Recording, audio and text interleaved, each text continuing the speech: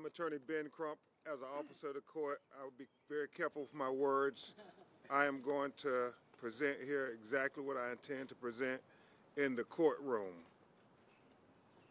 Your Honor, I stand before you with deep respect and humility, along with national civil rights leaders, especially black women, urging leniency in the sentencing of Marilyn Mosby. I acknowledge the significance of this hearing and the weight of your responsibility in ensuring equal and fair justice.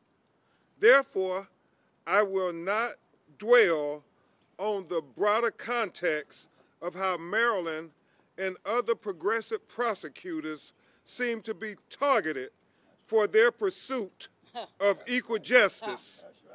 But instead, I will focus on her character and contributions. Marilyn Mosby has dedicated her life to champion justice. I first met her in 2015 at a National Bar Association conference when she was the state's attorney in Baltimore.